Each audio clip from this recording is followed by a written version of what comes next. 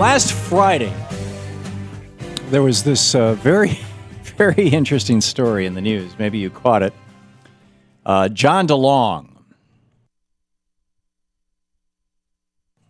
Excuse me. Had a bite of peanut butter there during the break. Not a good idea. On, on Friday, John DeLong, the top NSA official in charge of making sure that the NSA complies, that their analysts, the people who work for them, comply with the rules and regulations uh, protecting the privacy of Americans.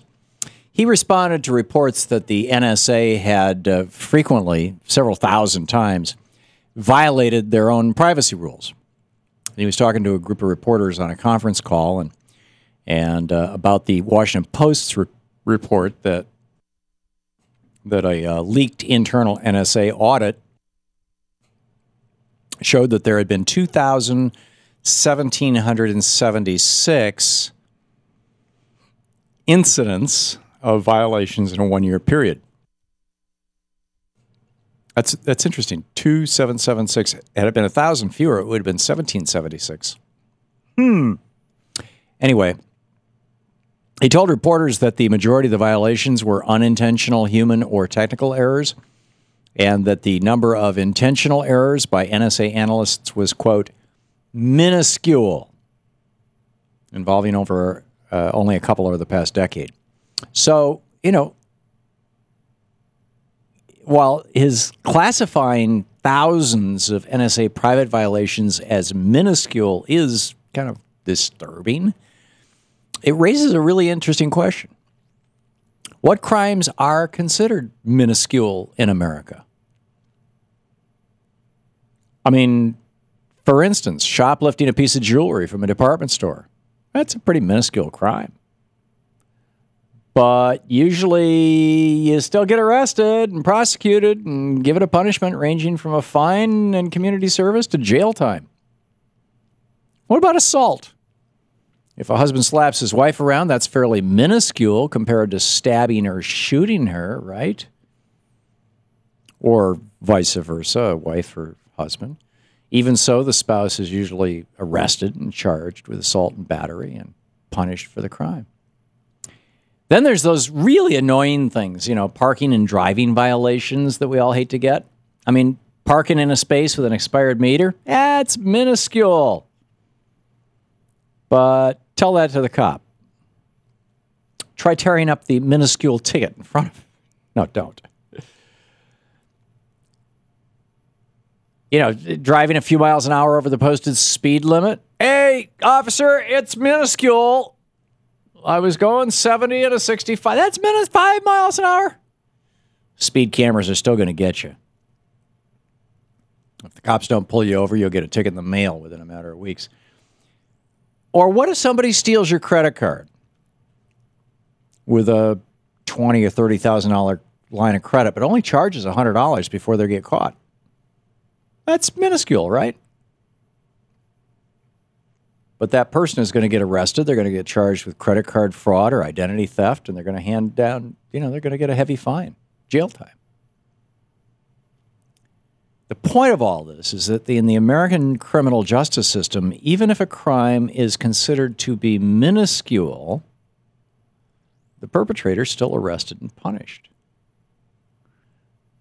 But under DeLong's logic, since the NSA doesn't appear to have punished anybody, he would apparently have us do away with all these minuscule crimes and let people who commit them go unpunished. You know, we'd pretty quickly turn into a shoplifter and parking violators paradise. Our justice system has failed miserably at sending banksters to jail, which is not minuscule. But when it's at its best, I mean, setting that aside, which is damn hard to do, but setting that aside, when our criminal justice system is at its best, all Americans are held accountable for crimes that they commit, no matter how petty or minuscule those crimes may seem, and no matter how powerful or influential, influential their perpetrators may be. And that should include our government. We must hold our government, the people who have the power to throw us in jail, we have to hold them to the same standard as we all hold the rest of us to. I mean, if there have been 2,776 incidents of NSA analysts violating the privacy rights of American Americans just over the past year, then anybody, every, everybody from the analysts themselves to the head of the agency should be held accountable for their actions because nobody should be above the law in the United States. Now, we do have a big problem with above the law stuff. As I said, you know, the principal ones are the banksters, but, you know, we've got drug companies that are killing people. Uh, Mike Papantonio has been keeping us up to date on that. There's a, a, a big one coming down the road right now. We've got BP. This is incredible. BP is starting to backpedal and say, oh, we really don't want to pay for the damage we did, and we, you know, we we don't want to go to jail for killing 11 people, and it really wasn't our fault anyway, or maybe it was, but who who cares? It's minuscule. It's just a minuscule amount of oil. It's only going to kill a couple hundred thousand or maybe a few million life form. Yeah, it's minuscule. 11 people dying? Eh, that's minuscule. Consider how many people die every day in America from all kinds of things. 11 of them dying on an oil rig? Eh, it's minuscule. At what point do we say no, it's not? On the other hand, there probably are, not probably, there are some things that we consider crimes right now that I think we're thinking rather stupidly about that are minuscule, like smoking pot. This is this is why you know the, the, the whole libertarian thing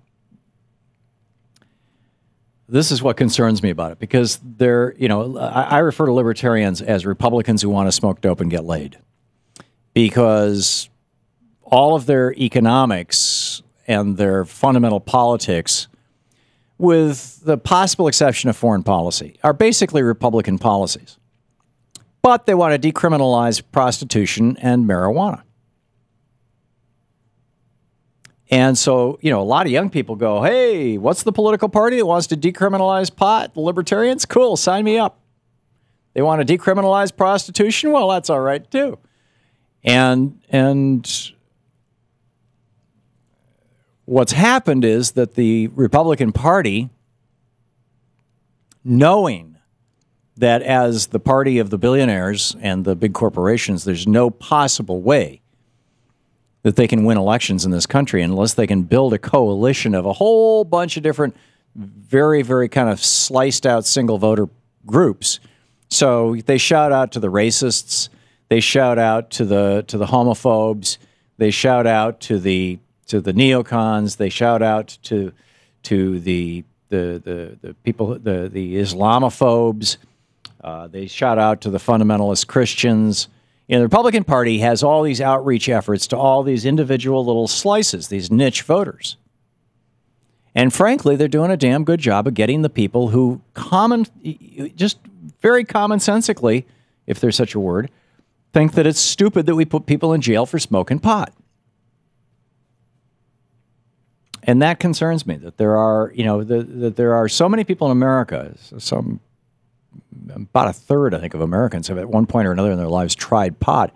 And that these people know, I, they, they know. There's no reason that this should be a, a kind of crime that you go to prison for. And the Republican Party is picking those folks up because they have embraced the libertarians. Ron Paul was libertarian, Rand Paul's libertarian, on and on it goes. The Democrats need to get their act together on this, you know? They need to say, okay, if you want a minuscule crime, here is one, and we're going to legalize it.